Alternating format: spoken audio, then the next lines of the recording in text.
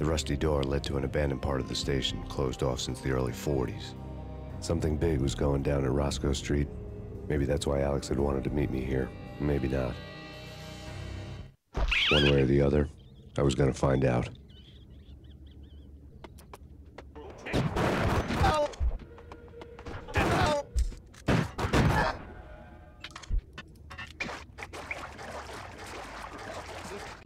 But also, it's like failure count is rising. Yeah, I wouldn't joke about it if I was you. Yeah? The station's not secured. Someone decided to play hero upstairs. That's all we need.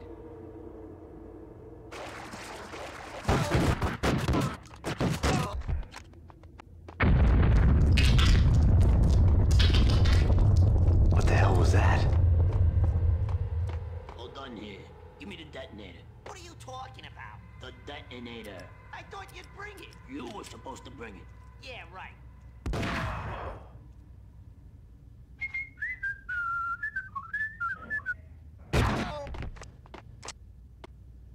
The door had been welded shut ages ago and the bomb was missing a detonator.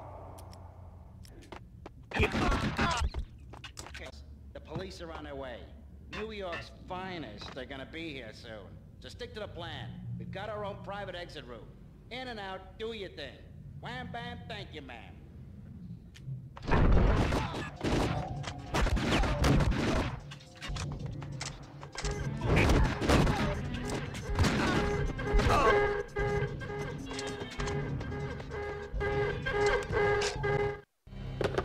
We come to you now live from the crime scene. Who is this?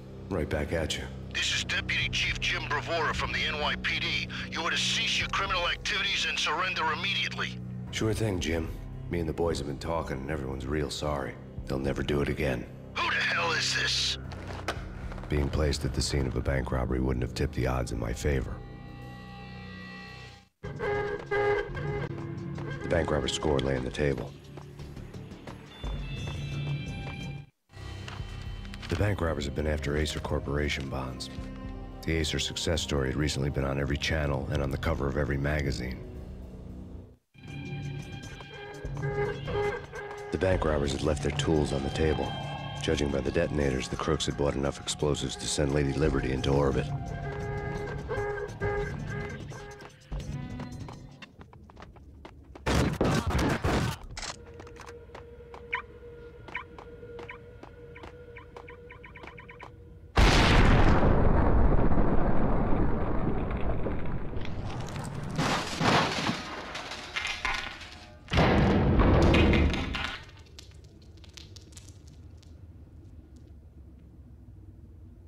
Hold it! Max! Jesus, you almost gave me a heart attack! I nearly shot you! Alex, am I glad to see you? What the hell's going on? There are more corpses here than at the city morgue! It's an armed robbery, a tunnel job straight to the Roscoe Bank vault through the old station wall. Is this why? This is Lupino's gig? This is Lupino's doing? Lupino's men? Really? You sure know how to pick a place. Can you get through? No, it's locked. We gotta get out of here. If it's Lupino, it's... Alex? Alex! There was nothing I could do. He was dead.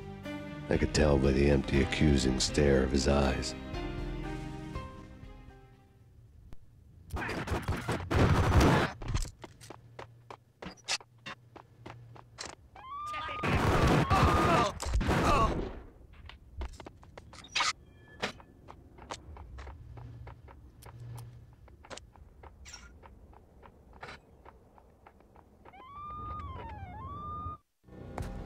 Alex had kept me relatively sane for the past three years. Now I didn't know how I felt.